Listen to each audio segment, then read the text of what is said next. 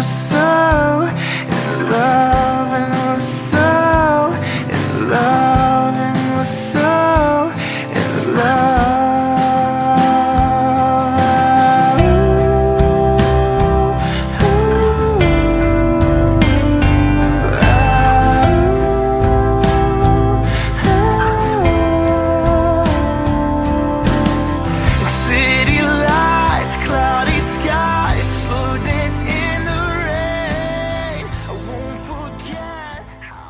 Bom, eu e o Marquinhos a gente se conheceu através da minha cunhada, da Bárbara.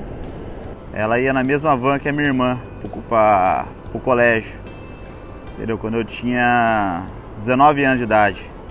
E foi de primeira, foi de prima. E um dia a gente combinou de sair. E ela comentou comigo que o irmão dela e o primo iam juntos, né? Sair com a gente. A gente foi, deu uma, uma volta, acabei conhecendo o Marquinhos, depois de um tempo a gente acabou ficando. Ali, dali pra cá, a gente teve um período de férias aí, que foi muito bom para nós. Mas reatamos há um ano e meio e hoje ela é tudo para mim mesmo. Depois desse tempo, eu tive a certeza de que ele sempre seria o homem da minha vida. De hoje em diante, vou lutar, trabalhar para cada dia mais o sorriso dela ficar mais lindo, cada dia mais ela me fazer mais feliz. O mar para mim foi a prova de que o amor ele realmente existe e que pode se passar